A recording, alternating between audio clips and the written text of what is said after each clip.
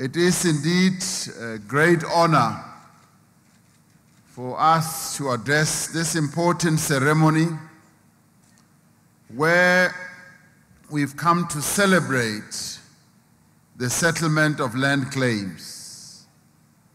And in a way, this morning we come to heal the wound, the wound that was inflicted on our people many, many years ago and heal the indignity and the hurt that was committed 367 years ago, taking the most valued possession from our people, the land. And they forcibly took land from the indigenous people of our country and that was when the original sin was committed.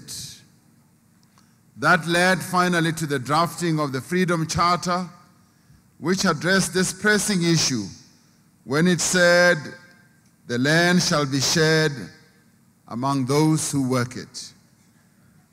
This is a vital part of our national effort to correct past injustices of land dispossession. And we are going to be repeating this ceremony as we go throughout the length and the breadth of our country. I started off with the Mkhwanazi claim in KZN.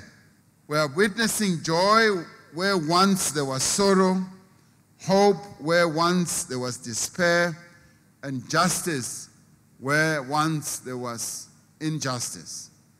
Today, the people who once called places like KwaDukathole, Boekenhoutkloof, Franspoort, Hans Rivier, Kafferskraal, Tweefontein, and Wegiboschlachte home are no longer pariahs in the land of their birth, but they are full and equal citizens of a new and united nation.